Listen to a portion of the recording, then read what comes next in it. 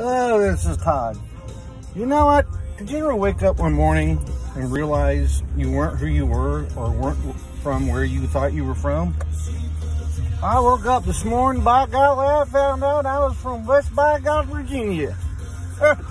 I guess it makes sense because some of my favorite things to do are hiking in the woods, hunting in the woods, walking in the woods, course, my passion is fighting fires in the woods. Ah, that's, I guess I tell you what, I guess I reckon it was going to figure out it someday. Well, it was great talking to all y'all. I know it's a kind of a short podcast. I gotta get home. I, I gotta get me some grub. You know, I'm fixing to sit down and take it easy tonight. All right, y'all. I'll talk at you later. No, I'm not really from West Virginia.